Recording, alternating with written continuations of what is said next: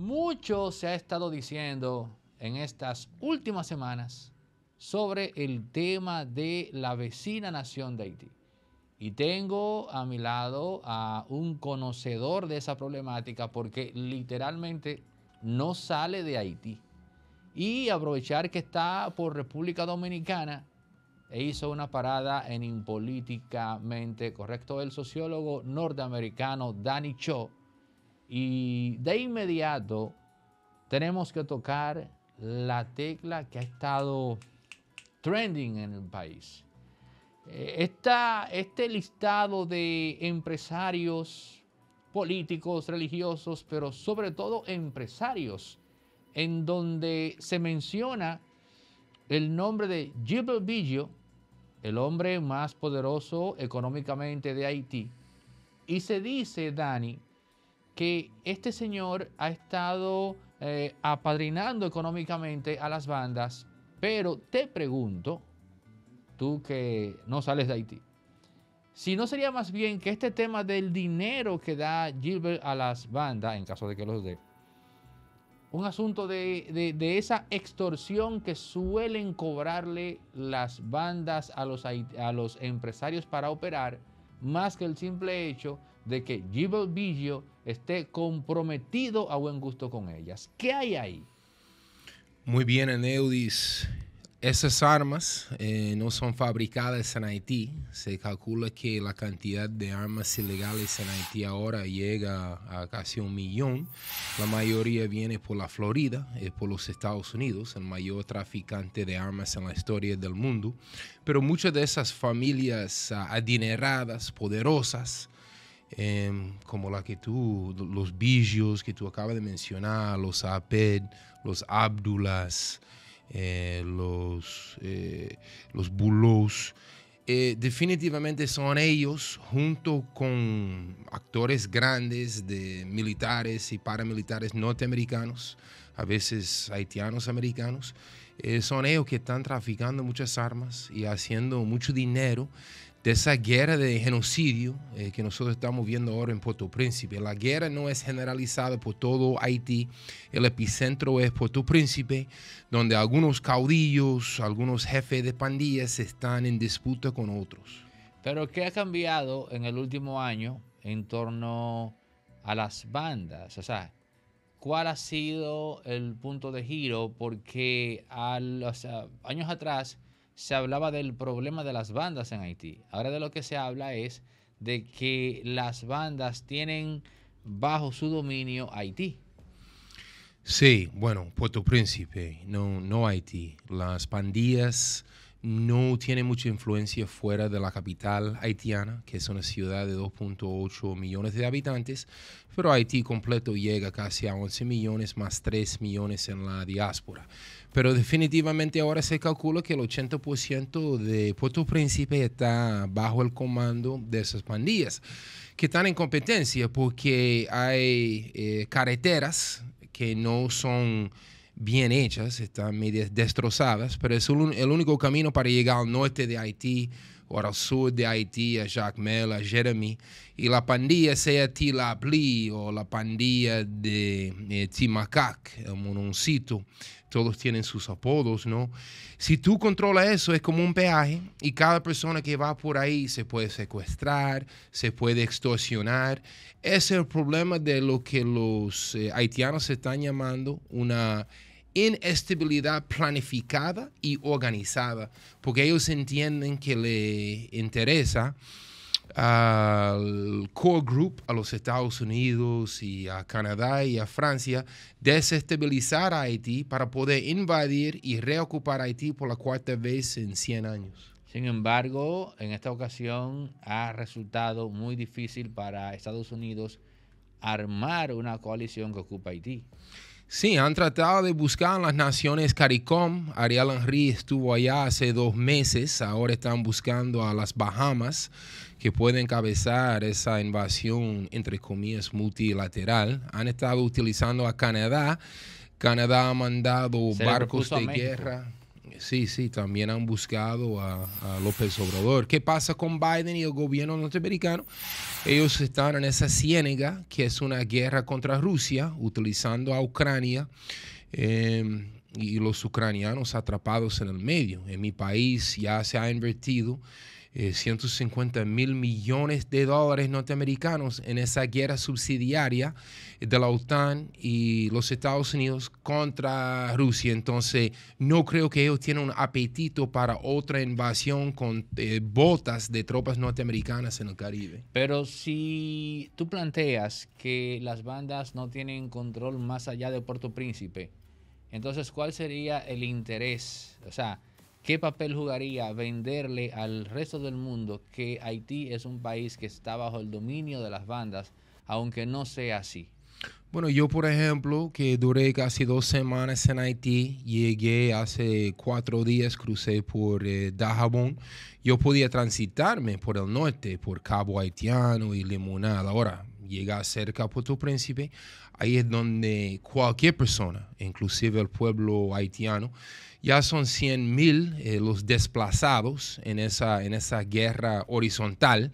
Digo horizontal porque donde están las familias que acabamos de mencionar ahí arriba, con sus castillos y sus palacios, eh, Aneudis en, en, Haití hay más seguridad privada que hay policía público. Entonces esas familias andan con su escolta sin ningún miedo, con sus limusinas, van a los médicos en Miami, em, siempre están de vacaciones en París. Entonces cuando hablamos de Haití, tenemos que hablar de los dos Haitis. Las pandillas locales de Puerto Príncipe, ellos tienen sus contactos en la diáspora que les manda de todo, inclusive eh, comida, porque a veces esos caudillos, esos jefes de pandilla también son algo de Robin Hood.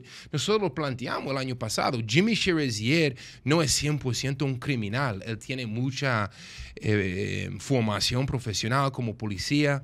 Uno de los otros líderes se llama Isca en CT Solé. CT Solé sería como el caputillo de allá. Eh, y fue un maestro de física. O sea, estamos hablando de personas con mucha preparación. O sea, un pandillero que era profesor de física. Sí, y su mamá fue violada y asesinada y él juró venganza contra lo que es la otra pandilla que se llama J-Pep. J-Pep sería la ganga del pueblo, el nombre, y la de Jimmy Cherizier, que él es el jefe, se llama GNF o la pandilla, eh, la, Federación de Nueve Pandillas. Pero el nombre ahora son las Fuerzas Revolucionarias eh, de las nueve, de la Federación de Nueve Pandillas. Si tú tocas a uno, tú tocas a otros. O sea, es el nombre de una pandilla más largo en la historia. Bueno, ¿por qué le cambió el nombre? Ya no es el G9. No, o sea, incluye el G9, pero incluye todo lo que yo me acabo de mencionar. Y como nosotros hemos hablado, Barbecue tiene comunicación con periodistas, con profesores. Él, él sí tiene formación y comunicación con el mundo afuera. ¿No entiendes tú que República Dominicana debería estar preocupada de la expansión del Islam en Haití? Bueno, yo tengo estudiando el creol haitiano, he cruzado la frontera en Gemaní, en Pedernales, unos 50 veces en mi vida. Yo nunca vi ninguna influencia musulmana en Haití. A mí me provoca risa, hay mucho sensacionalismo en la prensa gringa. Ellos hablan de banderas rusas. Bueno, yo puedo decir, hasta nosotros sacamos banderas rusas, porque yo estuve ahí en Puerto Príncipe hace un año y pico, y la idea de sacar una bandera rusa fue como un símbolo que los gringos no iban a dominar Haití para siempre y que los haitíes tenían tal vez la posibilidad de que los rusos o los chinos hicieron el, el, veto, el, eh, que bloquearon el voto de los gringos para otra ocupación, pero de influencia rusa y musulmana en Haití nunca he visto nada. Es una neocolonia gringa, entonces por definición los gringos jamás van a dejar que los, los rusos, los chinos, o no sé cuáles musulmanes tuvieron influencia ahí.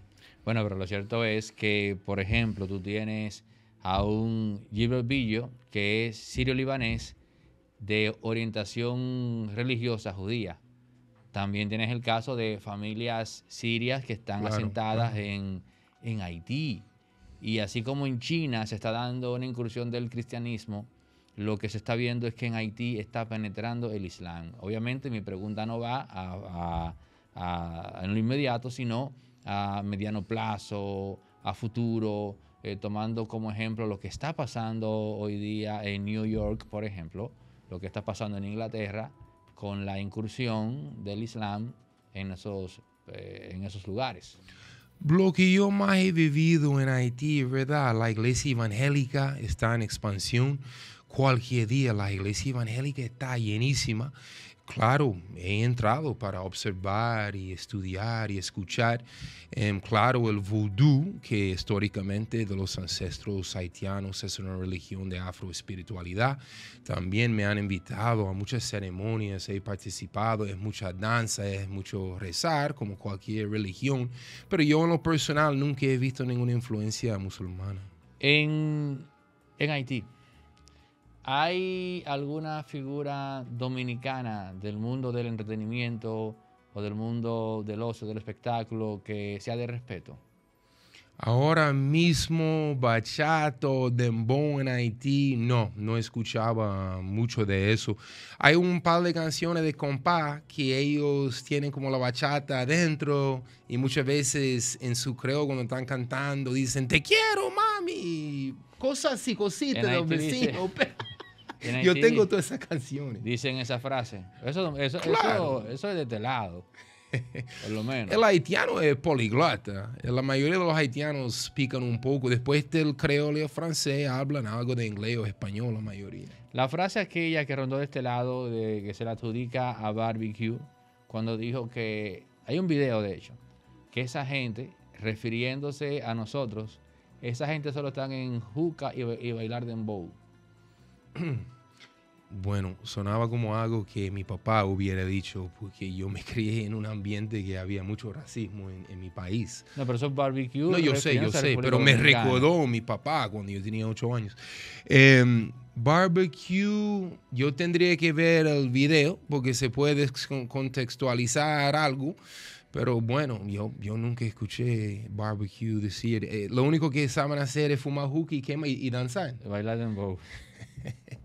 bueno, eso es algo de la cultura de la juventud dominicana hoy en día, no hay que tener vergüenza de eso. El peso específico de Claudio Joseph en Haití, o sea, el peso específico en cuanto a su poder, o sea, es, es Claudio Joseph una, un elemento político de peso, temido, respetado. Vamos a ver.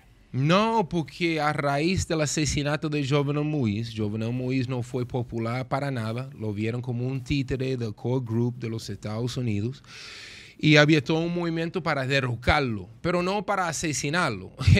¿De dónde vino el asesinato? Y ahí yo creo que tenemos que profundizar. 18 mercenarios colombianos trabajando junto con los servicios de inteligencia norteamericanos y la DEA invadieron el palacio y la residencia del presidente el 7 de julio hace dos años y lo asesinaron. Y cuando lo hicieron, lo gritaron en inglés, Drug Enforcement Agency, DEA, drop your weapons, la escolta presidencial, porque cuando se ve un gringo, un blanco allá en Haití, cuando yo digo gringo, los colombianos para los haitianos son, son gringos también, o blancos también la guardia, la guardia presidencial, se tiraron al suelo, soltaron sus armas y ahí fue que asesinaron a, él. A partir de eso hay una disputa de, de, poder.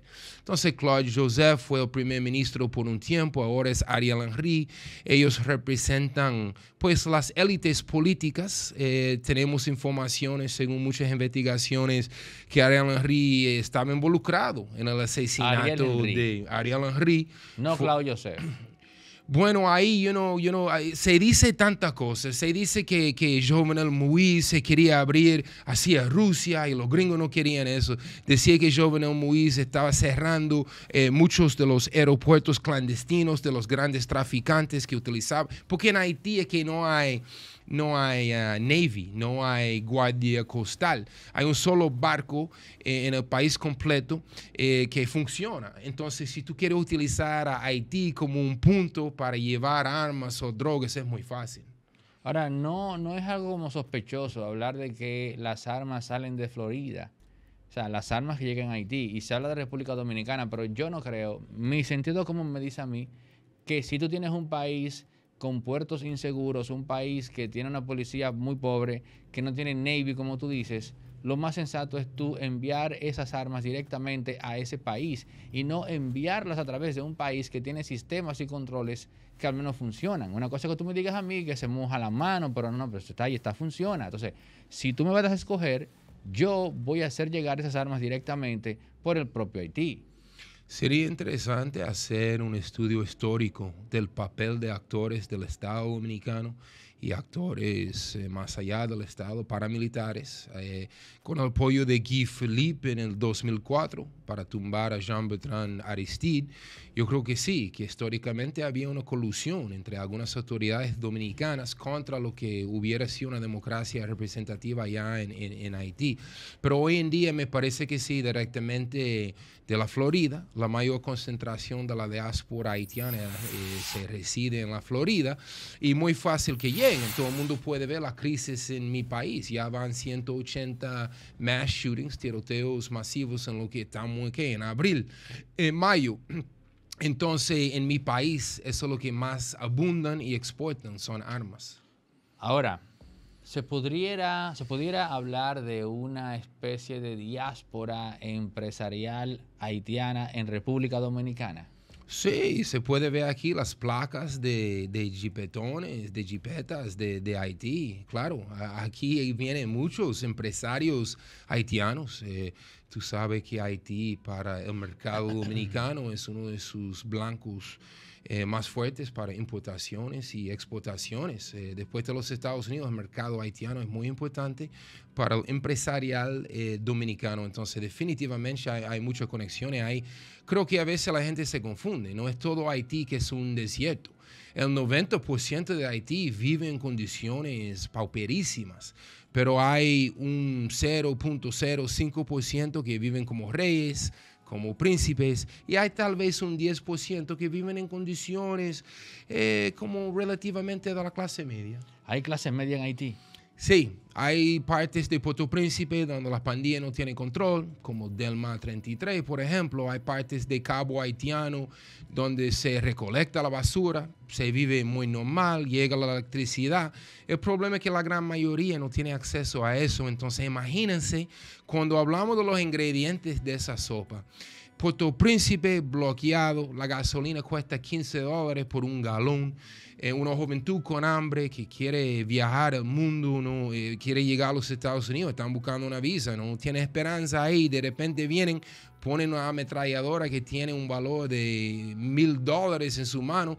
Esos son jóvenes que no han almorzado y de repente tienen esa ametralladora.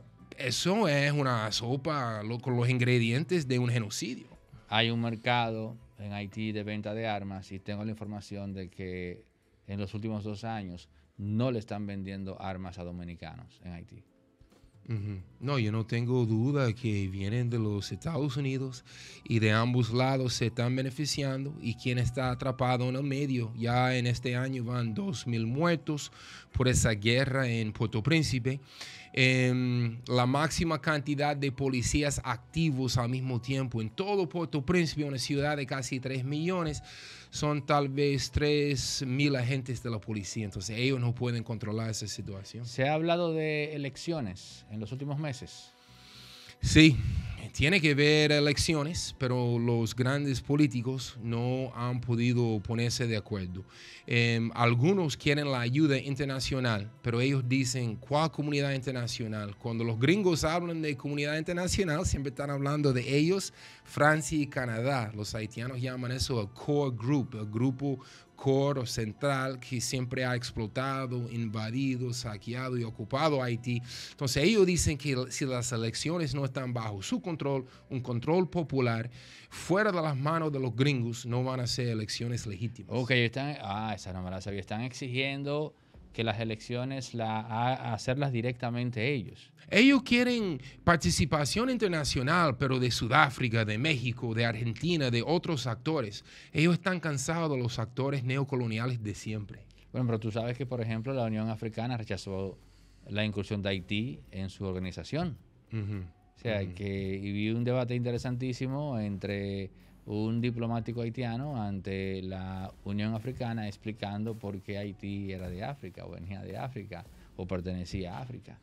Sí, no, esos, esos intercambios económicos son muy importantes. Eh, yo he visto la sociedad civil en Haití siempre querer expandir esos lazos con África, con Sudamérica, con el Caribe, con las otras naciones de CARICOM, pero yo veo que hay un bloqueo. Eh, como los gringos han ya ocupado tres veces en los últimos 100 años, ellos no quieren dejar, por ejemplo, que Venezuela pueda desarrollar Petrocaribe como lo desarrollaba, a China ha querido invertir y eso ha sido bloqueado. Entonces eso es parte de la guerra contra Haití. Hay una guerra económica contra Haití, hay una guerra de información contra Haití también. Guerra económica.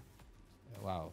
Ahora, también se ha planteado que yo no sé si tú recuerdas el debate que se dio cuando se, se, desvió el cauce del río Masacre, eh, hace unos cuantos años, que finalmente se diría como que República Dominicana tuvo que ceder pero aquí se esparció el rumor de que eso obedecía a un tema de una industria mm, del oro en Haití y que se iba a necesitar el agua de ese río para esa actividad. De aquel lado, ¿tú escuchaste algo en ese entorno? Escuché también de los grandes negocios norteamericanos, eh, mandaron todos sus analistas, a eso fue después del temblor de tierra, entonces estamos hablando de 2012 más o menos, se descubrió grandes minas de oro en el norte de Haití y de una vez compañías eh, canadienses y norteamericanas se adueñaron de esa tierra, hay mucha tierra rara en, en Haití, hay mucha riqueza. Yo creo que esa es la mentira más peligrosa, que Haití es pobre. Haití no es pobre, Haití es empobrecido. Y eso es lo que el pueblo haitiano siempre pregunta. Queremos respirar, queremos poder comer, comer y mandar a nuestros hijos a la escuela, pero hay un modelo de neocolonialismo que no nos deja. No es que queremos cruzar ninguna frontera para ir a Miami ni a República Dominicana, pero no nos están dejando vivir aquí. Entonces, ese asunto del oro ¿por qué no puede beneficiar a los pobladores de Cabo Haitiano y del norte? Pero en términos de resentimiento hacia el vecino dominicano, no, yo no escuché nada de eso. No, no, me refería al tema de desviar el río para usar el agua precisamente para comenzar a trabajar en la extracción de oro. bueno, eh, están trabajando en eso. El problema es que con el radio, que es un mineral muy raro para hacer todas las avionetas del mundo y las armas y los teléfonos, Em, el colonialismo es un modelo económico de un solo brazo, de, robar, de robar y no de ofrecer nada. Y eso es lo que el pueblo haitiano ha rechazado por tanto tiempo. Y hay que hablar de los voceros, de los defensores haitianos de su propio pueblo, que en estos días están siendo acribillados, secuestrados, asesinados.